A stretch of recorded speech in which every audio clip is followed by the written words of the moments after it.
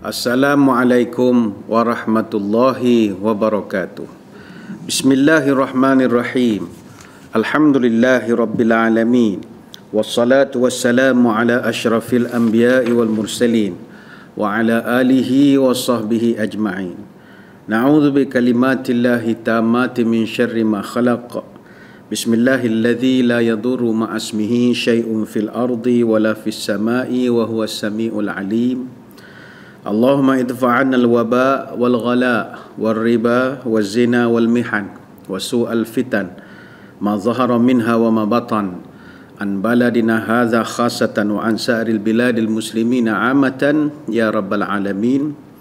Nawaitu ta'alluma wa ta'lim wa tazakura wa tazkir wa naf'a wal intifa' wal ifadah wal istifadah wal hasa ala tamassuki bi kitabillah wa sunnati rasulih ودعاء إلى الهدى والدلالة على الخير ابتغاء وجه الله ومرضاته وقربه وثوابه لله تعالى Yang dihormati tuan-tuan guru, para alim ulama, para habaib, muslimin muslimat, hadirin hadirat, tuan-tuan puan-puan, mudah-mudahan berbahagia sekalian.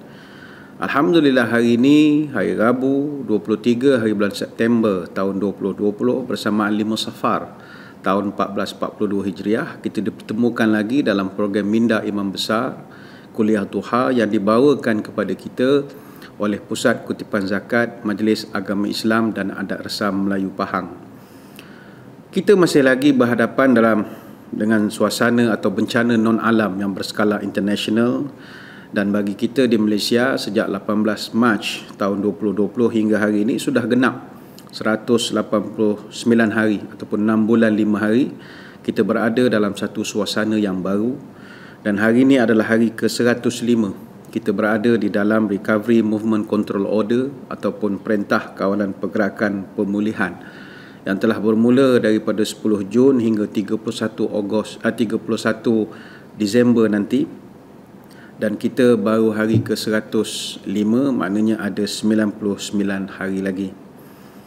Seperti biasa, marilah sama-sama kita mengelakkan daripada menjadi individu yang menyumbang ataupun menyambung kepada rantaian penularan jangkitan COVID-19 ini khususnya dalam komuniti kita dan seperti yang ditekankan oleh pihak Kementerian Kesihatan, Majlis Keselamatan Negara, setiap individu daripada semua peringkat dan lapisan masyarakat sama-samalah kita memainkan peranan masing-masing untuk mematuhi prosedur standard operasi ataupun SOP serta nasihat-nasihat yang telah dikeluarkan. Dan dalam masa yang sama kita juga merayu kepada kalangan cendekiawan, para ahli akademik, pakar-pakar perubatan, bantulah kami pihak masjid untuk buat kajian secara klinikal benar ataupun tidak. Sebaran ini mudah berlaku melalui soft ataupun menerusi mengambil wuduk di kolah misalnya. Kerana masjid seperti yang kita semua maklum masih lagi terikat dengan ketat berbanding dengan SOP yang dilaksanakan di beberapa tempat yang lain. Di restoran, di gelanggang futsal, di tempat-tempat hiburan atau tempat-tempat peraginan yang mana penjarakan sosial di masjid jauh lebih ketat. Softnya begitu renggang sekali. Kolah wuduk masih belum dibenarkan. Tabung belum dibenarkan untuk digerakkan. Maka kita mohon andai kata ada di kalangan ahli-ahli akademik, pakar-pakar perubatan yang boleh membuat kajian secara akademik. Benarkah akan berlaku jangkitan kalau tabung itu digerakkan dan sebagainya lagi kerana ada sedikit double standard dengan pelaksanaan yang dilaksanakan di luar daripada premis masjid. Ini bukanlah kita nak menapikan prosedur standard operasi yang telah pun ditetapkan tetapi sedikit keadilan diperlukan supaya tidak timbul double standard dalam isu ini. Baik, kita masuk kepada perbincangan kitab kita. Kita dah musim yang kedua dan kita menggunakan kitab Rahsia Kematian, Alam Akhirat dan juga Kiamat iaitu sebuah kitab Arab daripada tajuk asalnya At-Tazkirah fi Ahwalil Mauta wa Umuril Akhirah. Kitab yang begitu tebal sekali 1121 halaman karya Imam Abu Abdullah Al-Qurtubi seorang ulama berasal dari Spanyol dari Cordova Spanyol. Dan beliau lebih terkenal dalam bidang tafsir. Antara kitabnya yang terkenal tafsir Al-Jami' li Ahkam Al-Quran setebal 20 jilid yang menjadi rujukan sehingga hari ini dan insyaAllah kita masih lagi dalam bab yang pertama. Ada yang bertanya adakah kitab ini hanya cerita tentang kematian? Tidak. Kitab ini adalah kitab Ahwalil Mauta wa Umurul Akhirah. Bab pertama ini dia hanya menceritakan tentang kematian. Nanti dia akan masuk tentang kiamat.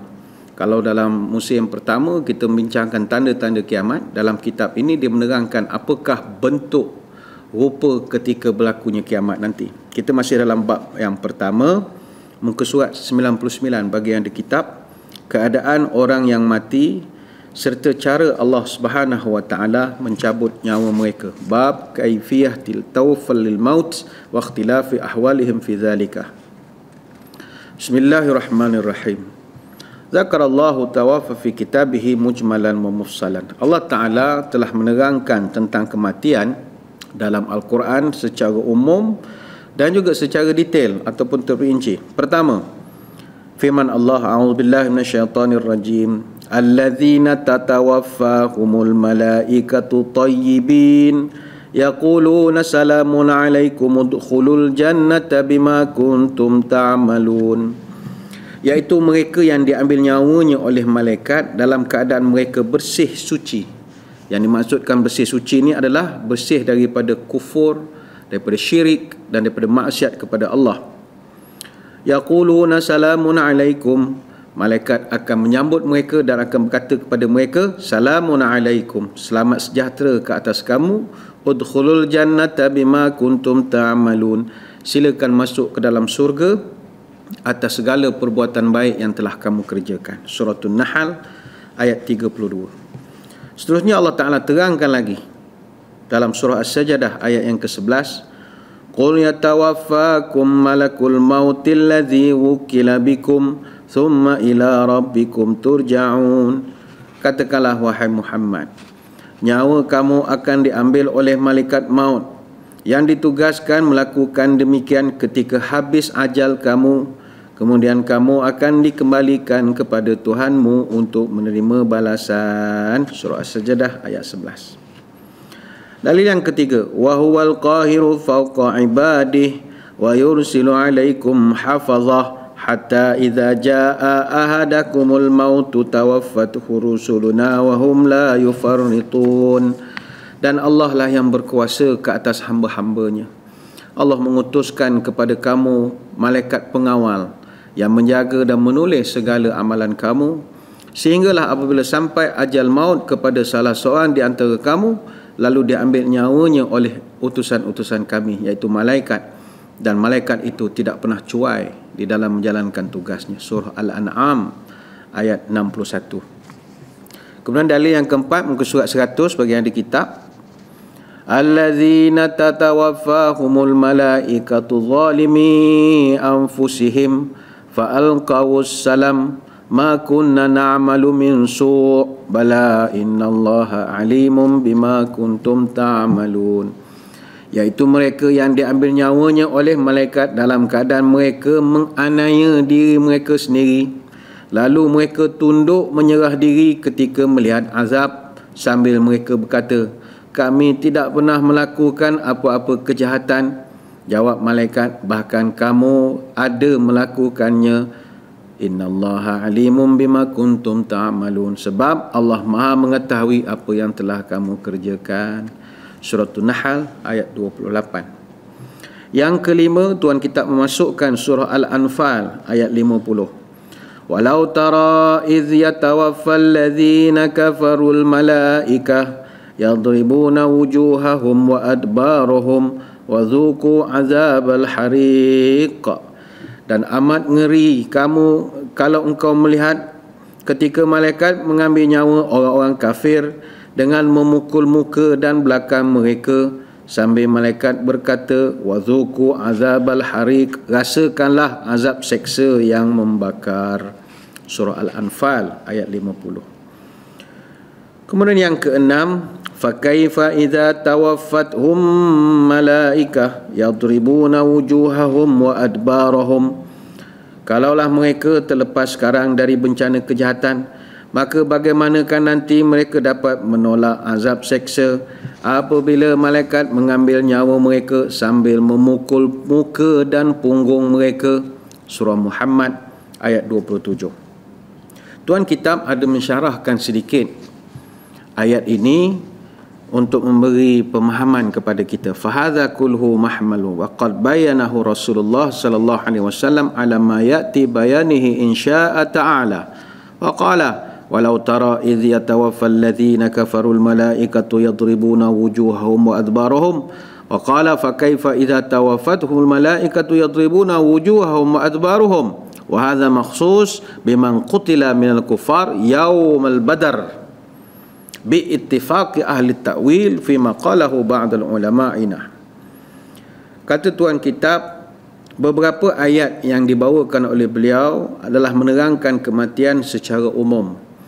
Dan ada pula dalil yang menceritakan kematian secara khusus iaitu kematian orang-orang kafir dalam peperangan badar iaitu bila Allah Ta'ala menyebutkan إذ يتوفى الذين كفروا الملائكة يضربون وجوههم وأدبارهم dan ketika malaikat mengambil nyawa mereka dengan memukul, memukul muka dan punggung mereka iaitu adalah orang-orang kafir yang terbunuh dalam perang badar dan perkara tersebut berdasarkan pendapat ahli tafsir dan sebahagian besar ulama namun kata tuan kitab waqad zakara al-mahdawi wa ghairihi fi zalika ikhtilafan wa anal kufara hatta al-an yatawafuna bil darbi wal hawani. Wallahu a'lam. Tapi kata tuan kitab ada juga ulama antaranya al-mahdi dan beberapa ulama lain berbeza pendapat. Kata mereka ayat itu mengatakan umum bukannya khusus pada perang badar. Mereka mengatakan bahawa jika orang kafir menghadapi kematian, mereka akan sentiasa berada dalam kesakitan dan kehinaan. Dan perkara ini akan berlaku daripada dulu sampai sekarang. Baik, muka surat 101 bagi ada kitab. Dalam suatu hadis yang cukup panjang diceritakan daripada Abu Zamil Ibnu Abbas radhiyallahu anhu menceritakan kepadaku Bainama rajulun minal muslimina yawma idzin yashtaddu fi athari rajulin minal musyrikina amamahu idh sami'a darbatan bisawti fawqahu wa sautal farisi yaqulu aqdim haizum. Pada hari perang badar ketika seorang tentera Islam sedang mengejar tentera musyrikin yang berada di depannya tiba-tiba tentera Islam ini terdengar satu bunyi suara cemeti. Bunyi itu benar-benar berada di atas kepala orang musyrik itu. Dan tentera Islam ini mendengar pula suara seorang penunggang kuda yang menjerit kepadanya akdim haizum maju depan wahai haizum. Nama dia haizum. Terus terus jalan terus jalan terus. Haizum jalan jalan. Move forward forward serang. Fa nazara ila al musyrik amamahu. Fa khara mustalqi mustalqiyan.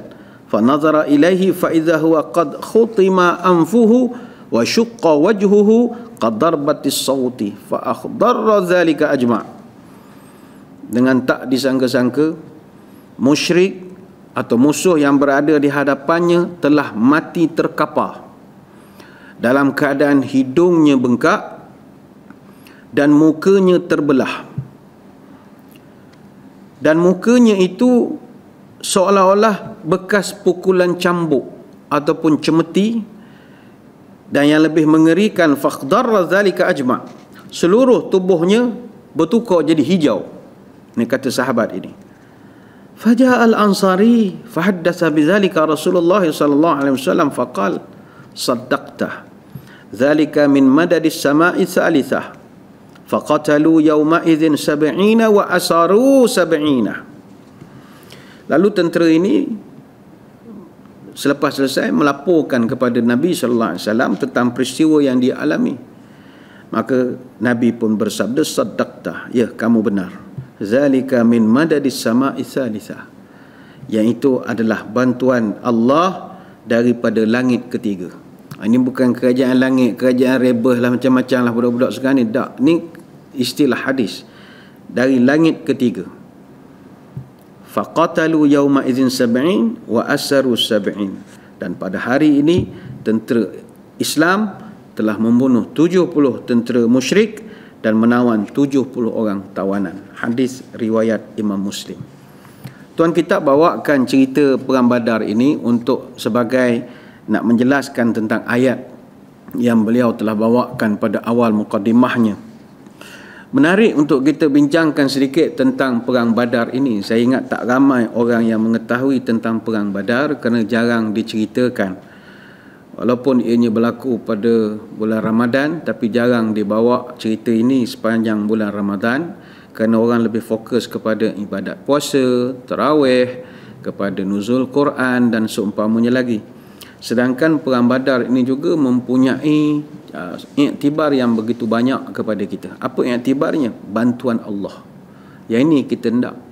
Dan yang ini telah hilang daripada jiwa manusia sekarang. Terutama dalam zaman pandemik, zaman COVID-19 ini, manusia sudah hilang pergantungan kepada Allah. Seakan-akan tidak percaya adanya satu bantuan namanya bantuan Allah. Itu hampir tidak ada sekarang ini. Perang Badar satu pelajaran. Walaqad nasarakumullahu bi Badrin wa antum adzillah. Allah telah menolong kamu dalam perang Badar padahal ketika itu wa antum adzillah kamu sangat lemah. Setengah tafsir menyebut ketika itu kamu sangat hina. Surah Ali Imran ayat 123. Turun bantuan daripada Allah. Bantuan yang bagaimana? Ada dua kata ulama tafsir. Pertama Allah kurniakan kepada tentera Islam ketika itu keberanian. Keberanian. Yang sekarang ni hilang keberanian. Yang ada sekarang ni golongan manusia penakut dan pengecut tanpa sebab. Kita dah banyak kali terangkan sejak daripada awal PKP lagi. Takutlah dengan berilmu. Bukannya menjadi orang yang fobia tak tentu arah keberanian dan itu Allah kurniakan kepada tentera Islam dalam peperangan Badar. Iz yuhi rabbuka ilal malaikah anni ma'akum fathabbitul ladzina amanu sa'ulqi fi qulubil ladzina kafaru ru'ba. Ingatlah kata Allah Taala ketika aku wahyukan aku perintahkan kepada malaikat sesungguhnya aku bersama kamu teguhkanlah pendirian orang-orang beriman. Aku akan berikan rasa takut ke dalam hati orang-orang kafir kata Allah Taala surah al-anfal ayat 12 pelajaran pertama pertolongan daripada Allah adalah keberanian. Keberanian. Dan ini hampir tidak ada. Hilang keberanian Bentuk pertolongan Allah yang kedua dalam peperangan Badar adalah Allah turunkan bantuan berbentuk bantuan malaikat. Tapi malaikat ini turun berkat kerana Nabi berdoa. Dan ini juga sudah hilang daripada masyarakat kita. Doa hampir tidak ada lagi. Tidak lagi berdoa untuk dimudahkan, dijauhkan dari musibah dan macam-macam lagi. Allah Ta'ala rekodkan dalam surah Al-Anfal ayat yang ke-9.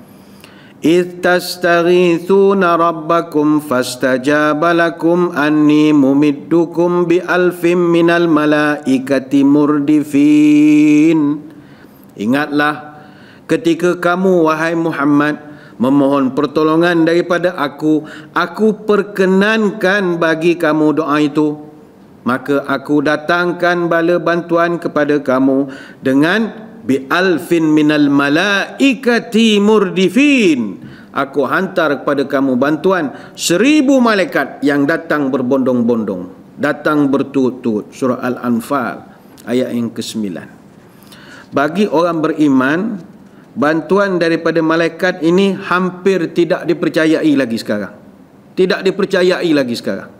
Bahkan kalau kita kata mintalah bantuan Allah Allah akan bantu kita menghantar malaikat. Orang gelak ya Orang gelak daripada kita.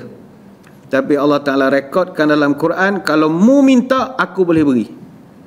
Dan para malaikat, kata ulama tafsir, belum pernah berperang sekalipun dalam satu hari, kecuali dalam perang badar saja. Allah Ta'ala izinkan. Biasanya kata ulama tafsir, malaikat ni dia tidak terjun ke dalam medan peperangan bertarung, berlawan pedang, tidak pernah. mereka biasanya hanya bentukkan pasukan ataupun bantuan tapi tidak ikut memukul atau berparang di dalam mana-mana peperangan. Dalam satu hadis sahih yang diriwayatkan daripada Ali bin Abi Talib radhiyallahu anhu, qila li Ali wa li Abi Bakr yaum Badrin ma'a ahadikuma Jibrilu wa ma'al akhari Mikailu wa Israfilu malakun azimun yashhadul qitala atau qala yashhadus saffah dikatakan kepada Sayyidina Ali dan Sayyidina Abu Bakar ketika perang Badar bersama kamu berdua ada malaikat Jibril dan bersama yang lain ada malaikat Mikail. Dan Israfil adalah malaikat yang agung yang menyaksikan atau membantu pertempuran itu. Ibnu Ishaq menukilkan kisah daripada Miqsam dalam satu riwayat daripada Ibnu Abbas tanda mengenal malaikat pada perang Badar adalah malaikat memakai serban putih yang hujungnya mereka juraikan hingga ke belakang punggung mereka Ibnu Murdawih meriwayatkan melalui jalur Hisham Ibnu Urwah dari Abdullah Ibn Zubair malaikat turun membantu pasukan orang Islam dengan memakai serban warna kuning. Abu Ishaq As-Subai riwayatkan daripada Harithah Ibn Mudarib dari Ali Ibn Abi Talib tanda malaikat dalam perang Badar ialah mereka memakai kain bulu berwarna putih dan tanda yang lainnya terdapat pada ubun-ubun kuda yang mereka tunggangi. Dan kata ulama para malaikat yang datang membantu semasa perang Badar semuanya dapat kemuliaan. Imam Bukhari mencatatkan dalam sahihnya bab syuhudul malaikah badran tentang penyaksian malaikat semasa perang Badar. Muaz bin Rafa'ah radhiyallahu an dia ikut serta dalam perang Badar Al-Kubra katanya Jibril alaihissalam datang sendiri berjumpa Nabi dan bertanya apa pendapatmu tentang pengikut-pengikut kamu yang terlibat dalam perang Badar? maka Nabi kita menjawab mereka adalah dari kalangan orang-orang Islam yang paling utama the chosen yang terbaik sekali. Maka kata Jibril begitu jugalah malaikat yang ikut serta dalam perang badar mereka juga dapat penghormatan dan keistimewaan. Bahkan ini dibangga-banggakan sesama mereka kerana mereka terlibat atau digelarkan sebagai veteran perang badar. Ini pertolongan daripada Allah. Seterusnya kita sambung balik. Waman azlamu Allah Taala menyebutkan waman azlamu mimman iftara 'ala Allahi kadhiba aw qala uhiya ilayya wa lam yuha ilayhi shay. Wa man qala sa'unzilu mithla ma anzala Allah dan siapakah yang lebih zalim? Daripada orang yang mereka-reka perkara dusta kepada Allah atau mereka mengatakan kami telah diberi wahyu padahal tidak diberikan wahyu apapun kepada mereka. Dan juga orang yang mengatakan Allah akan menurunkan seperti apa yang Allah nak turunkan walau tara idh zalimuna fi ghamaratil maut wal malaikatu basitu aydihim akhriju anfusakumul yawm tujzauna azabal huni bima kuntum taquluna ala Allahi ghaira ghairal haqq wa kuntum an ayati tastakbirun dan sungguh ngerilah sekiranya engkau melihat ketika orang-orang yang zalim itu dalam penderitaan sakaratul maut yaitu ketika hendak putus nyawa Ketika malaikat-malaikat menghulurkan tangan mereka memukul dan menyeksa orang itu sambil menengking, keluarkanlah nyawa kamu dari tubuh kamu sendiri. Pada hari ini kamu dibalas dengan azab yang menghina kamu sehina-hinanya disebabkan apa yang telah kamu katakan terhadap Allah dengan perkara yang tidak benar dan sebab kamu sombong dan takbur daripada keterangan-keterangannya surah Al-An'am ayat 93. Kata tuan kitab, ay bil azabi akhraju anfusakum ila qawlihi yastakbarun wa qad zadati sanati hadha naw bayanan ala ma ya'ti. Maka inilah balasan-balasan kepada orang-orang yang kufur engkar kepada Allah. Kematian mereka tidak disambut pun oleh malaikat. Bah malaikat kata keluar sendirilah, muruhkan sendiri. faslu atau fasal inna qala qailun kaifal jama'a baina hadhil ay wa kaifa yaqbidu malakul maut fi zamanin wahid arwahu man yamut bil masyriq wal maghrib. Tuan kita bawakan satu persoalan. Bagaimanakah malaikat maut boleh mencabut begitu banyak nyawa pada satu masa? Setiap saat ada orang mati kita dah bersiaran hampir setengah jam ini dah berapa orang meninggal dunia. Ramai. Setiap saat ada orang mati. Jadi macam mana malaikat maut boleh buat kerja? Qila lahu a'lam anna tuwfiya ma'khudh min min tawfiyatid dain. Wastawfiyatuhu wastawfituhum idza qabadathu wa lam yada' minhu syai'a. Kata tuan kitab, kematian ini berasal dari perkataan tawfiyatid dain mengutik kembali hutang. Mati itu tawfiyatid dain mengambil balik hutang. Maka bila hutang dah diambil qabadahu walam la yada' minhu syai' maka tidak ada tinggal lagi hutang yang perlu dilunaskan. Maka kata tuan kitab fatarah yudhafu ila malikil mauti li mubasharatihi zalika. Dari satu sisi kata tuan kitab kematian ini memang diuruskan oleh malaikat maut saja. Dia saja. Dan dia akan terus mencabut nyawa makhluk ni sampai bila-bila. Wa tarah ila a'wanihi minal malaikah. Tetapi ada masanya juga di, dicabut nyawa ini bukan oleh malaikat maut saja tapi a'wanihi minal malaikah li'annahum qad yatawallawna zalika aidan tapi malaikat maut dia bentuk satu pasukan. Malaikat-malaikat juga yang membantu dia kerana dia ada kuasa dia akan buat satu pasukan untuk membantu dia mencabut nyawa. Mungkin department of mencabut nyawa lah jabatan mencabut nyawa. Di dalamnya ada dia punya ketua jabatan malaikat maut ada timbalannya dan sebagainya lagi. Dia ada satu department. Wa tara ila Allah taala. Pada satu sisi lain yang sebenarnya yang cabut nyawa Allah taala Allah taala tulis sendiri yang mencabut nyawa. Wa huwal mutawaffi ala al haqiqah kama qala azza wa jalla Allah yatawaffal anfusa hina mautiha. Tapi kata tuan kitab dari satu sisi, sisi yang lain yang mencabut nyawa sebenarnya Allah. Kerana pada hakikatnya dialah yang mematikan setiap makhluknya. Dan semua malaikat taat patuh kepada titah perintah Allah dan Allah sebutkan perkara ini dalam beberapa ayat. Tuan kita bawakan ada tiga dalil. Menunjukkan sebenarnya mencabut nyawa ni Allah Ta'ala sendiri. Malaikat ini hanyalah dia punya frontliner lah. Seolah begitu ya. Dalil yang pertama, Allah yatawaffal anfusa hina mautiha wallati lam tamut fi manamiha fayumsiku allati qada 'alayha al-maut wa yursilul ukhra ila ajalin musamma inna fi dhalika laayatin liqaumin yatafakkarun. Allah lah yang berkuasa terhadap segala-galanya.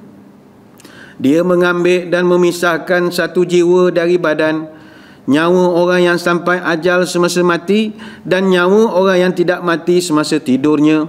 Kemudian dia menahan nyawa orang itu yang dia telah tetapkan mati dan melepaskan balik nyawa kepada yang lain sehingga sampai ajal yang telah ditentukan sesungguhnya demikian itu mengandungi tanda-tanda kekuasaan Allah bagi orang yang ada otak untuk berfikir li ayatil liqaumi yatafakkarun ini surah Az-Zumar ayat 42. Dalam ayat yang lain, wa huwallazi ahyakum thumma yumitukum thumma yuhyikum innal insana lakafur.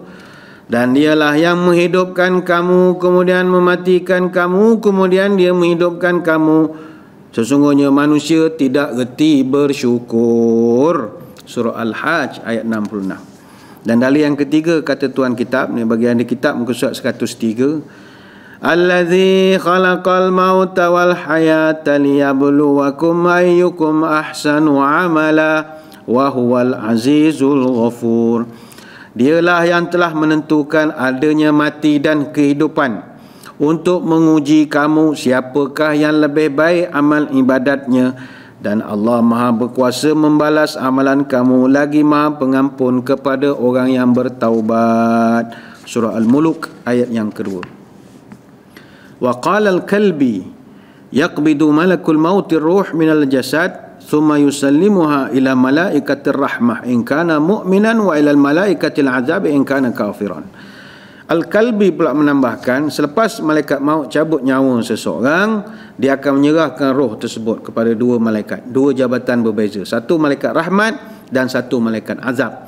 Apabila orang mukmin maka rahmat. Bila orang mukmin dan malaikat maut apabila orang itu adalah orang yang uh, azab. Apabila orang itu orang yang berdosa Apabila orang mukmin maka malaikat maut menyerahkan rohnya kepada malaikat rahmat tapi bila orang kafir maka malaikat maut menyerahkan rohnya kepada malaikat azab. Jadi kata Al-Kalbi yang mematikan Allah yang menguruskan penghantaran dia punya deliverynya lah adalah malaikat maut. Wa hadzal al-ma'na mansusun fi hadis al-Barra wa fil khabar 'an an-nabi sallallahu alaihi wasallam inna malak al-maut la yuhibu bil arwah kama yuhibu ahadukum bi fuluhi aw fasiluhu ala haluma ala haluma yahibu yad'u. Yuqalu ahabu ar-rajulu bi ghanamihi ay saha biha litaquf aw litarji' wa ahaba bil ba'ir. Inilah kata tuan kitab makna yang tersurat di dalam hadis al-barra. Dalam satu riwayat Rasulullah SAW menceritakan bahawa malaikat maut dia akan panggil roh seperti seseorang memanggil kudanya iaitu yahibu. Yahibu. Maknanya dia memanggil-manggil. Sebagai contoh yuqal ahabur rajulu bi ghanami. Pemuda itu memanggil biri-birinya. Ay sahabi la litakuf aw la tarji' wa haba bil ba'ir. Dan dia menjerit-jerit kepada kambingnya supaya kambing ataupun untanya itu datang balik ikut kepada dia. Jadi ini pandangan para ulama yang berkuasa penuh Allah Taala. Berkuasa penuh total power cabut nyawa Allah Ta'ala. Malaikat hanya menggerakkan. Jadi tak timbul persoalan macam mana malaikat mau boleh tarik serentak Kuantan pukul 10.40 di kemaman 10.40 pun ada orang meninggal juga. Macam mana dia boleh buat? Eh, Allah Ta'ala punya kuasa malaikat ni hanya menjalankan kerja saja. Muslimin muslimat yang dirahmati Allah sekalian. Jadi yang penting sekarang adalah kita kena sama-sama fikir macam mana kita nak meninggal nanti dalam keadaan roh kita dijemput oleh Allah dengan penuh ketenangan penghormatan dialu-alukan. Yang ini menjadi mustahak untuk kita fikirkan bersama. Pada kesempatan hari ini saya nak berkongsi satu kisah. Moga-moga menjadi iktibar kepada kita Kisah ini disampaikan oleh Syekh Hisham Al-Burhani rahimahullah. Dia seorang ulama besar di Syria. Dia bercerita dalam satu ceramah, dia berceritakan di Damsyik, Syria ada satu kawasan perkuburan yang popular nama Maqbarah Ad-Dahdah. Perkuburan Al-Dahdah. Ini betul-betul tengah bandar Damsyik, Old Town. Dia lebih kurang dalam 10 minit daripada uh, Masjid Umawi di Damsyik. Masjid Umawi ni kita pernah cerita masa tanda kiamat dulu menara Nabi Isa, tempat Nabi Isa akan turun. Jadi perkuburan Ad-Dahdah ini 10 minit daripada situ. Dia Ad-Dahdah ini kawasan perkuburan lama. Di situ disemadikan bukan orang biasa-biasa lah para ulama, aulia, syuhada, orang-orang yang hebat kebumikan di situ makam ini dinamakan Ad-Dahdah sempena nama seorang ulama hadis yang disemadikan di situ iaitu Abu Ad-Dahdah Ahmad bin Muhammad ibn Ismail At-Tamimi rahimahullah. Dulu makam ini dipanggil Maqbarah Al-Faradis. Tapi lepas ya Abu Abu Ad-Dahdah ni dikumikan situ tukar namanya jadi perkuburan Ad-Dahdah.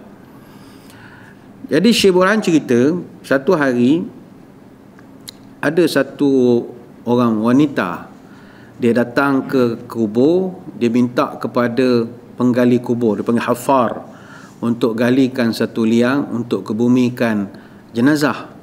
Jadi dia kata tolong siapkan nanti uh, beberapa masa nanti kami akan bawa jenazah. Jadi tukang gali jenazah ni pun buatlah liang buat kubur semua. Bila dah siap beberapa jam kemudian datanglah wanita ini dan beberapa orang laki-laki pikul jenazah. Orang tak ramai. Tak ramai. Tak adalah sampai 10 orang pun. pikul jenazah masukkan jenazah jadi penggali kubur ini bila masukkan jenazah dalam kubur dia terperanjat raaitu ajaban aku melihat satu benda yang begitu mengkagumkan aku aku tak pernah tengok benda-benda seperti ini fi hadhil asna qabra wa yusbihu rawdatun min riyadil jannah wa jaa malakani akhadhahu kata tukang gali kubur aku melihat pemandangan yang menakjubkan. Kubur arwah ini yusbih rawdatan min riyadil jannah. Berubah menjadi taman yang begitu indah sekali. Taman cantik Wajah malakani akhadahu. Aku tengok ada dua orang laki-laki berkuda dan aku tahu ni malaikat. Akhadahu. Ambil jenazah bawa pergi. Tak tahu ke mana. Dia memang betul kan Nabi pernah sebut kata Abi Sa'id Al-Khudri radhiyallahu anhu Nabi pernah sebut innamal qabru raudatun min riyadil jannati au hufratun min hufarin nar hadis Tirmizi kubur ini dia memang boleh jadi taman antara taman-taman syurga tamannya di kubur kita dan boleh menjadi salah satu jurang neraka Nabi sebut. Jadi yang penggali kubur ni kata bila dia tengok kejadian tersebut dia terperanjat lalu dia pengsan. Pengsan. Jadi laki-laki yang ada keliling tadi pecikkan air apa semua sedar. Dia diam sajalah dia tak bercerita. Tapi cerita tu sentiasa kekal dalam ingatan dia Beberapa bulan kemudian wanita yang sama datang. Jumpa lagi dengan Hufar ini ataupun penggali penggali kubur ini pun beritahu ada jenazah lagi nak ke bumi. Jadi dia pun buat kerja dia beberapa jam kemudian masukkan jenazah dia berhadapan dengan benda yang sama raaitu ajaban aku melihat perkara yang sangat ajaib yang aku tak pernah tengok selama ini dia nampak ya wajah malakan yang akhadahu ada malaikat berkuda yang membawa jenazah ini pergi tapi kali ini dia tidak pengsan lagi habis saja upacara pengkebumian dia terus panggil wanita ini dia tanya Maza kana ya'mal hadha wa dha? Apa kena mengena mayat ini dengan kamu? Kata perempuan ini, saya tadi bawa ke bumi anak saya. Yang dulu yang dulu sebut anak saya dulu. Anak saya juga. Kenapa? Wallahi raaitu ajaban. Demi Allah saya inilah first time tengok benda ajaib ketika mengkebumikan dua anak puan. Madza kana ya'mal hadza wa apakah yang arwah-arwah ni telah lakukan? Yang baru meninggal tadi dengan yang beberapa bulan dulu. Apa amalan mereka Begitu kagum saya. Maka kata muslimat atau wanita ini, amal awal fakana taliban li'ilmi. Anak saya yang pertama yang meninggal dulu yang tuan kebumikan taliban ilmi. Dia adalah seorang penuntut ilmu. Penuntut ilmu. Wa kana thani ya'mal najjaran yuqaddimu li akhihi nafaqah talabil ilmi. Adapun jenazah yang baru dikebumikan adalah adiknya. Dia ni adalah orang yang bekerja kuat untuk membantu membiayai pengajian abangnya yang belajar itu. Bayangkanlah. Maka penjaga ah, penggali kubur ini tarakal maqbarah wa nazala minha ila jami' taubah. Lepas dia berhadapan dengan peristiwa ajaib tersebut, dia tinggalkan kawasan kubur, dia terus pergi ke Masjid At-Taubah. Masjid At-Taubah, Jami' At-Taubah fi, Dimash, fi Dimash, Syarif Baghdad. Hayl Aqab, Hayl Aqibah. Dia satu masjid yang bukan kaleng-kaleng masjid. Masjid At-Taubah ini, ramai ulama pernah mengajar atau berkhutbah di Masjid At-Taubah. Izzuddin Abdul Salam yang merupakan orang panggil Sultanul Ulama pengarang kitab Qawaidul Ahkam. Ini pernah buat baca khutbah di situ. Ibnu Jazari ini juga antara ulama besar yang pernah jadi khatib di Masjid Jami' At-Taubah. Jadi penggali kubur ini lantas pergi ke Masjid At-Taubah. Dia jumpa dengan imam di situ. Dia kata dia nak belajar. Dia nak jadi seorang penuntut ilmu. Jadi dia jumpa dengan syekh ini syekh ini adalah toki kepada yang bercerita ni Syekh Hisham Al-Burhani ni. Ha, toki dia. Jadi datang penggali kubur jumpa dengan toki dia beritahu saya nak mengaji. Awak nak mengaji umur berapa? Dah 40 tahun lebih. Masa tu umur dia. Dah 40 tahun lebih. Kata dia saya pergi jaga kubur. Berlaku peristiwa ajaib salah satu jenazah tu orang yang menuntut ilmu. Saya tengok depan mata kuburnya macam taman. Depan mata saya Allah buka hijab. Jadi kata awak ni dah tua sangat nak belajar. Tak apalah. Mulakan dengan kitab matan al-jurumiyah dulu. Matan jurumiyah ni kitab bahasa Arab ataupun kita belajar nahu saraf. Biasanya kitab ni kalau ngaji di pondok orang belajar peringkat satu ataupun dua sanawiyah untuk pondok pesantren kalau dah khatam kitab ni baru alih kitab lebih tinggi kitab al-imriti kawakibud duriyah mulakhas mata alfiyah dan sebagainya lagi. Jadi dia belajar belajar belajar. Akhirnya penggali kubur ini disebabkan dia mengaji begitu tekun. Akhirnya dia juga menjadi ulama besar di Damsyik yang dikenali namanya dengan Syekh Abdul Rahman Al-Haffar rahimahullah. Al-Haffar ni artinya penggali, dia kekalkan namanya Syekh Abdul Rahman Al-Haffar. Dan beliau ini yang memiliki keturunan-keturunan yang juga menjadi ulama besar di Suria. Salah seorangnya Abdul Razak Al-Haffar dan ramai lagi. Maka apa pelajaran untuk kita? Cerita ini disampaikan oleh Syekh Hisham Al-Burhani dalam satu ceramah dan beliau juga telah kembali ke rahmatullah tahun 2014 dan dia juga dapat rezeki ke bumi dia adah-dah juga adah-dah juga. Apa pelajaran untuk kita? Pelajarannya adalah nak mudah mati esok pilihlah dua perkara. Pertama sekali jadilah jadilah orang yang suka mengaji suka belajar. Tak kira berapa umur. Walau dah pencen sekalipun datanglah mengaji. Datanglah belajar. Masjid surau ada mana mampu SOP kita ikut lah SOP belajar main pakai komputer ni tak jadi kena ngadak juga. Payah nak membetulkan kena mengaji. Belajar Quran belajar kiraat belajar taranum belajar tafsir dalami Quran. Jadilah orang yang mengaji. insyaAllah kalau mati esok Allah muliakan Oh, dok dang ustaz eh nak ngaji kita dok got cetong sakit kaki go out gauk bagai-bagai dok leh nak pergi sejik lagu mana. Baik. Kalau tak leh ngaji bantulah pembiayaan orang yang mengaji. Anak-anak yang sedang belajar banyak madrasah, sekolah apa semua yang kita boleh bantu. Mak Tafiz ada, pondok-pondok pesantren ada, mereka ni semua pelapis para ulama masa depan untuk memperjuangkan agama. Maka kita bantulah pembiayaan mereka.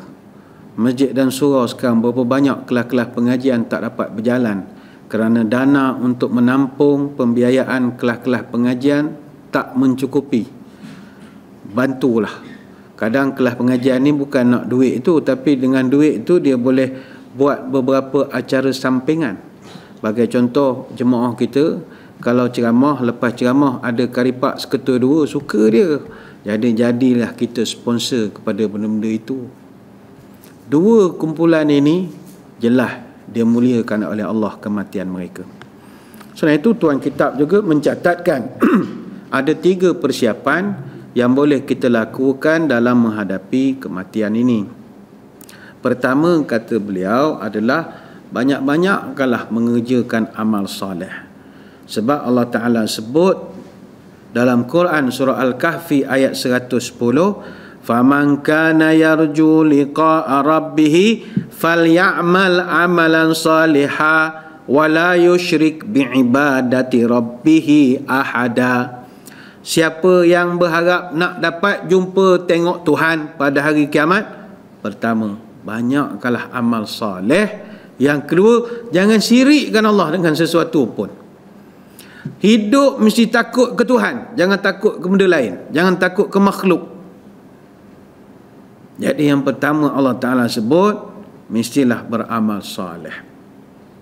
Namun amal soleh yang dimasukkan dalam ayat ini kata ulama tafsir adalah amal soleh yang bebas daripada sebarang bentuk riak, pameran. Dan mestilah ibadah itu bertepatan dengan undang-undang syariat. Kalau ibadat yang dibuat tanpa undang-undang syariat tak boleh.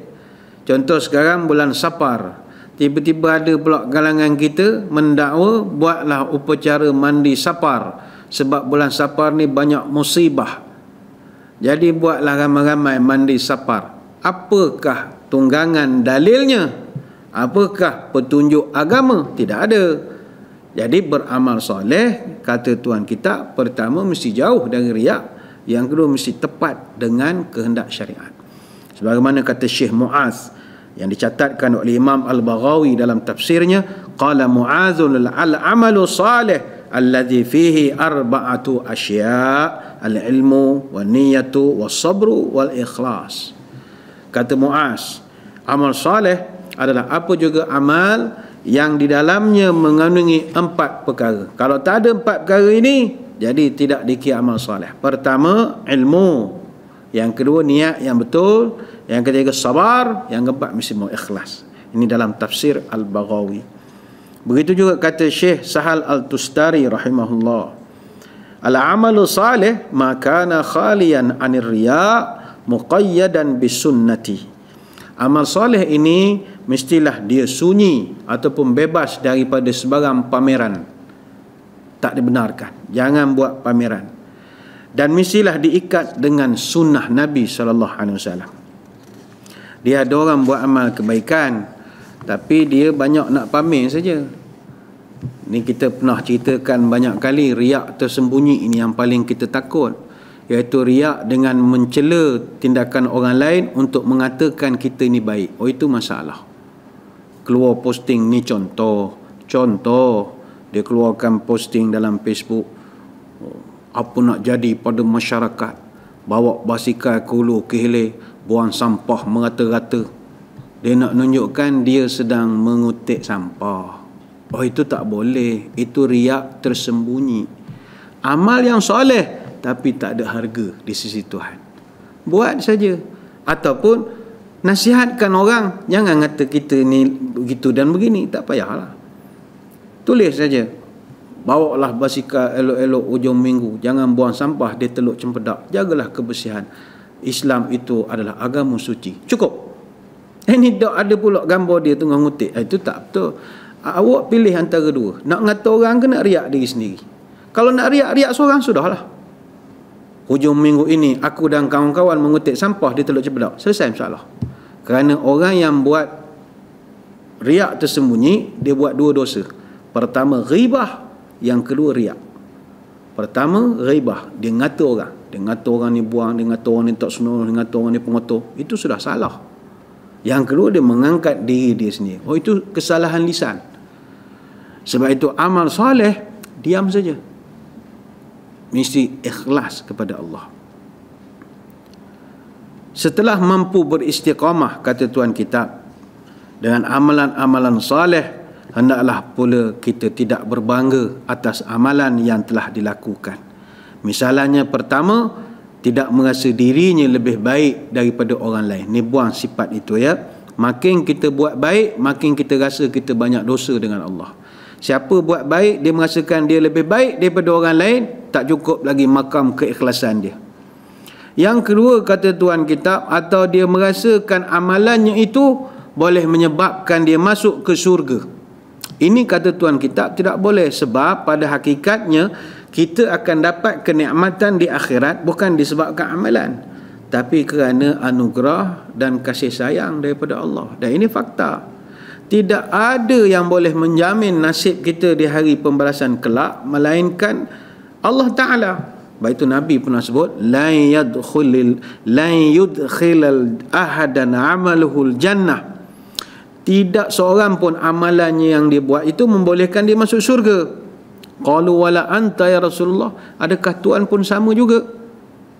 Maknanya amalan yang buat bukan untuk masuk syurga? La wala ana. Ya saya pun tidak terkecuali.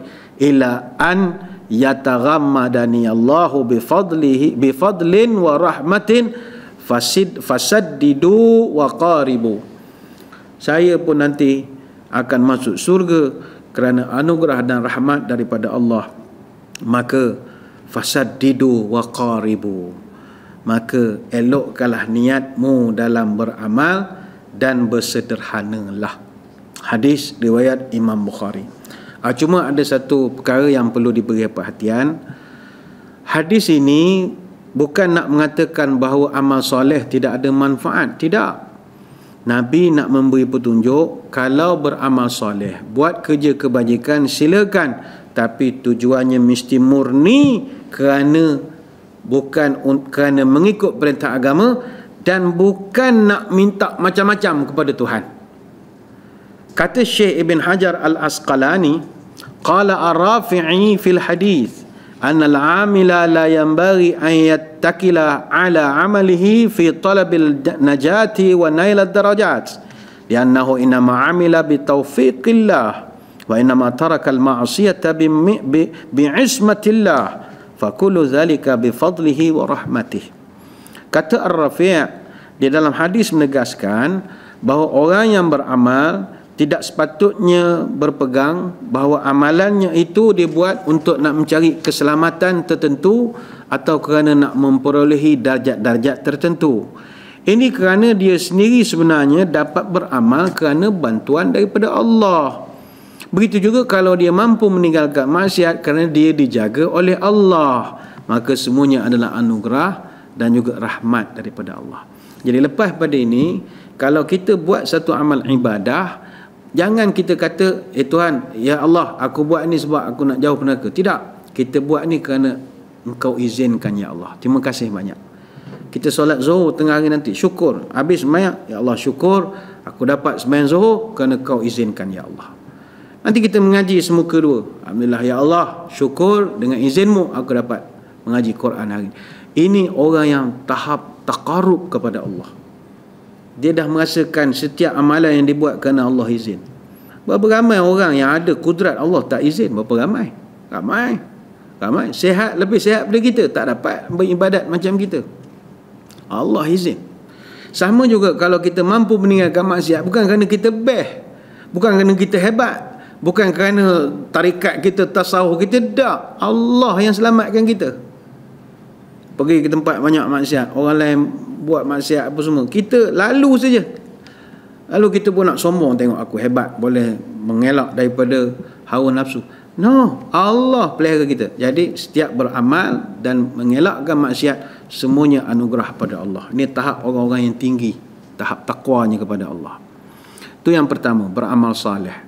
Yang kedua kata Tuhan kita mesti menjauhi apa jua perbuatan tercela yang meliputi perkara-perkara yang haram dan juga yang makruh. Sebab itu para ulama salaf mereka sangat berhati-hati dalam menjaga dirinya daripada sebarang perbuatan tercela. Bahkan bagi mereka yang lebih penting bukan hanya meninggalkan benda-benda yang haram dan benda-benda yang makruh benda-benda mubah yang melalaikan dan menjijikkan pun mereka tinggalkan benda tu tak salah tapi mengerikan menjijik menjelekkan menjijikkan. Mereka tinggalkan juga. Contoh ada orang ambil wuduk. Orang lain pun ambil wuduk juga. Dia punya ambil wuduk macam nak cabut anak tekak. Ha pa po wa kan ko ko po ambil salahnya eh dia kata saya nak buang kahak apa semua. Tapi perbuatan kamu menjijikkan. Ini surah dekat kedai makan. Ada orang macam-macam lagi kalau orang orang yang betul-betul warak benda tu pun dia tinggal. Allah Ustaz ludah pun tak boleh. Ludah boleh bukannya kakak kapu orang lembek semayang juga. Tidaklah sampai korek anak tekak pun nak keluar perut. Dia mengelakkan daripada apa juga perbuatan yang tercela yang dikeji. Sebab itu fahsya wal munkar. Apa makna fahsya? Benda yang manusia tak suka. Mungkar, benda yang Allah tidak suka. Baik itu ulama membahagikan darjat orang warak ini orang yang jaga diri ni kepada empat tingkatan. Dia ada level dia.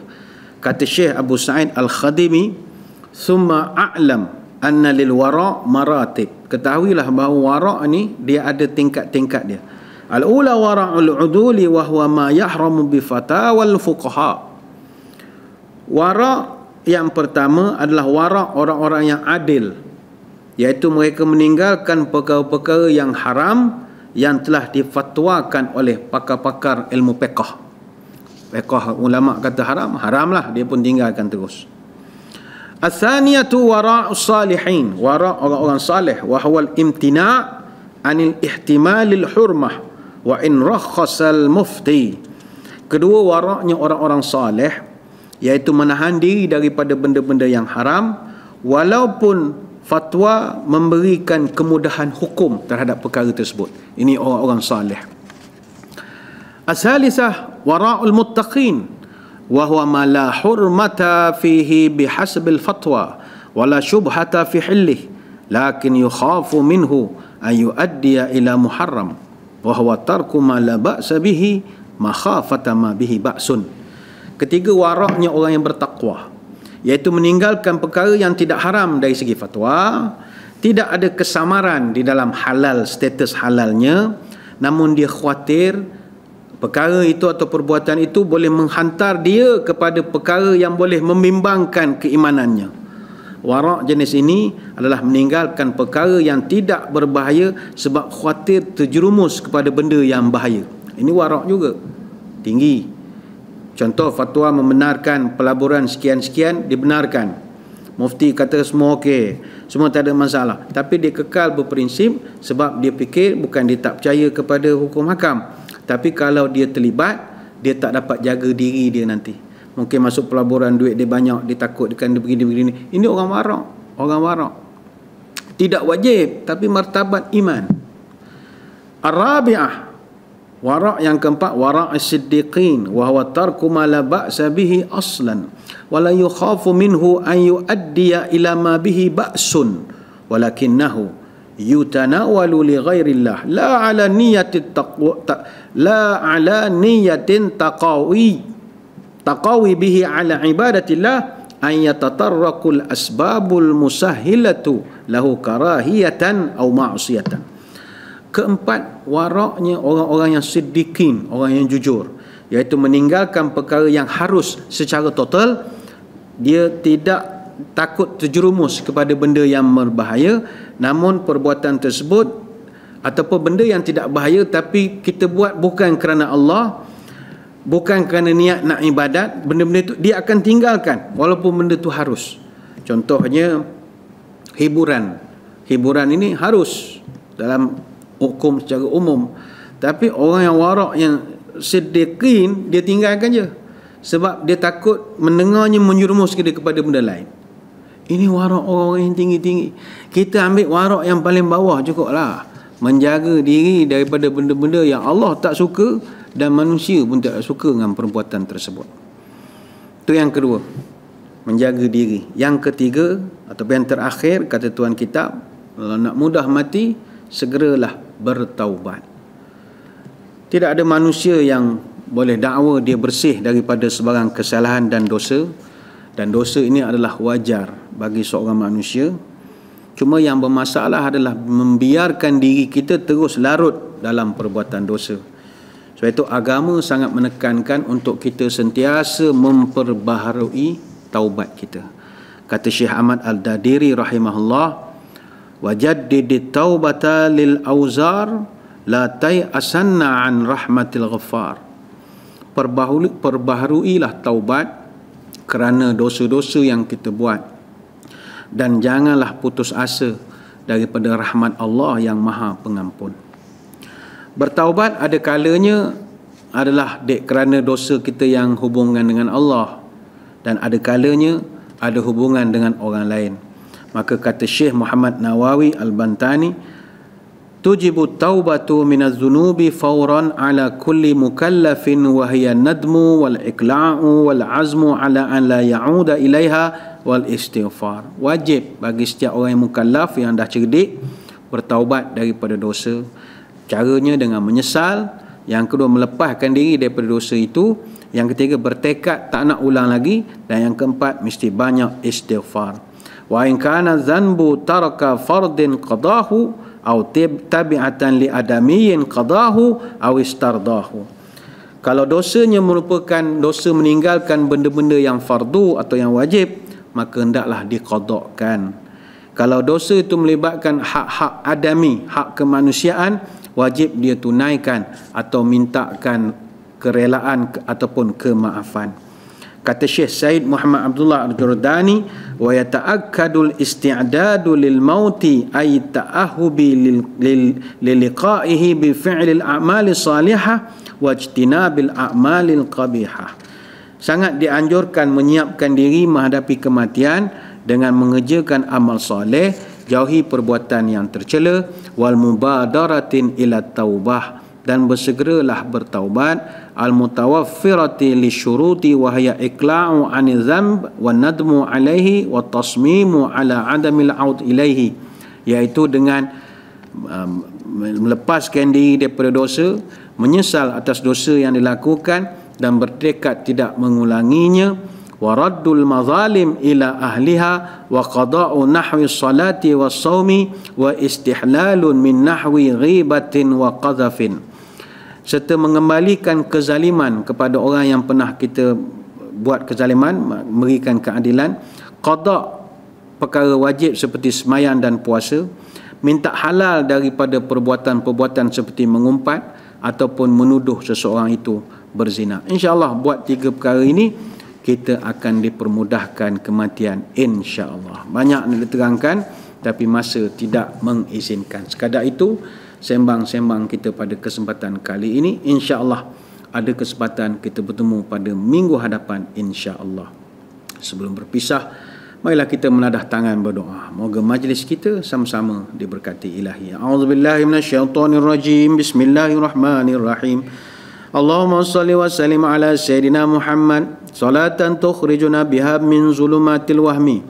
Allahumma in kana rizqina fis sama'i fanzilhu وإن كان في الأرض فأخرجه وإن كان معسرا فيسره وإن كان حراما فطهره وإن كان بعيدا فقربه بحق دعائك وبهائك وجمالك وقوتك وقدرتك آتنا ما أتيت عبادك الصالحين Ya Allah jika rezeki kami masih di langit turunkanlah kalau di bumi keluarkanlah kalau susah permudahkanlah kalau haram suci, kalah kalau jauh dekat, kalah berkat waktu duhamu, berkat kecantikanmu, berkat keindahanmu, berkat kekuasaanmu. Limpahkanlah kepada kami segala yang telah engkau limpahkan kepada hamba-Mu yang soleh. Subhanakallahumma wa bihamdika nashhadu an la ilaha illa anta nastaghfiruka wa natubu ilaik. Wa sallallahu ala sayyidina Muhammadin wa ala alihi wa sahbihi wa sallam. Alhamdulillahirabbil alamin. Wabillahi taufiq wal hidayah. Wassalamualaikum warahmatullahi wabarakatuh. Wallahu a'lam.